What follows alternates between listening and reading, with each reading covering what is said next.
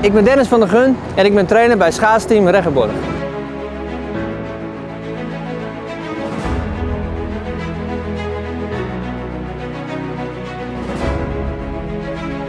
Mijn rol binnen het uh, schaatsteam Rechtborg is dat ik, uh, dat ik trainer-coach ben. Eigenlijk meer van de sprinters. dat doe ik samen met Gerard natuurlijk.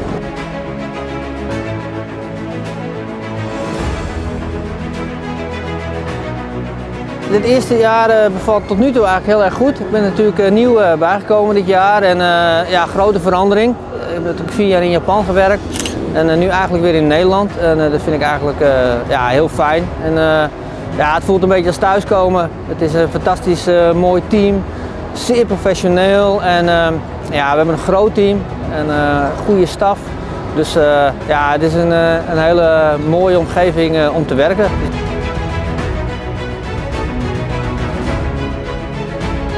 Over de, ja, de ontwikkelingen tot nu toe, het wordt nu spannend. Het seizoen gaat natuurlijk aankomen, dus de, de, de tijden moeten maar uitblijken hè, of het allemaal goed gaat. Maar ja, we hebben in ieder geval een hele goede zomer kunnen draaien. Dingen die we hebben kunnen doen gingen eigenlijk hartstikke goed. Schaatsen staan er goed voor, iedereen is fit. Dus uh, ja, so far so good. Ik heb lief in mijn vrije tijd.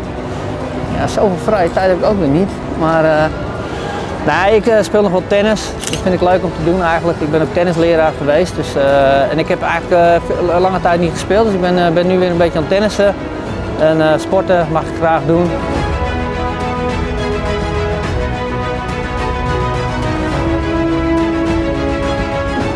Nou, ik kijk sowieso naar de, alle wedstrijden wel uit. En, maar ja, het is natuurlijk fantastisch om, om hier in Tialf weken afstanden te hebben. Dat, dat, mag duidelijk zijn, dat is denk ik voor iedereen het hoofddoel. dus dat is super gaaf in een vol Tialf. Het blijft toch de allermooiste plek om te rijden hier.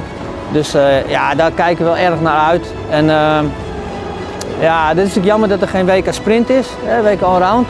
Dat, goed, daar hebben we natuurlijk mee te maken met de ISU die dat dan beslist. Maar dat zijn natuurlijk wel ja, de mooiste toernooien. En ja, voor dit jaar is het WK afstanden. Dus ja, dat wordt wel gaaf denk ik.